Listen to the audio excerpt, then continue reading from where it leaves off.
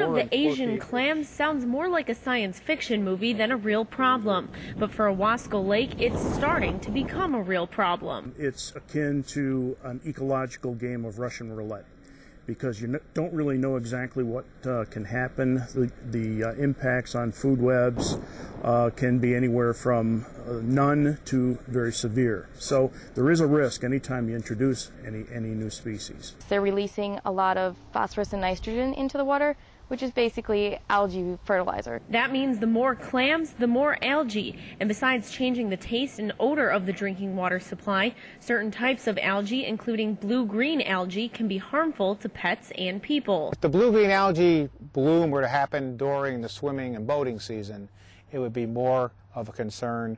Uh, we'd have to stop boating, particularly swimming, skiing, jet skiing, uh, because it is uh, a skin irritant and in high enough levels, it, it can get uh, dogs and uh, small children sick. Now, even though this Asian clam population isn't causing any health concerns just yet, officials are working to contain the problem before it spreads. If it spreads all the way down the lake, we have that much bigger of an area to cover and it's also that much more expensive.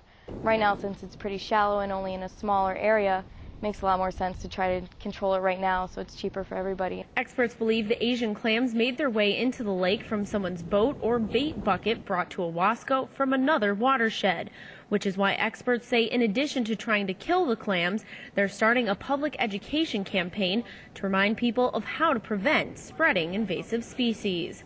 In Owasco, Katie Gibas, YNN.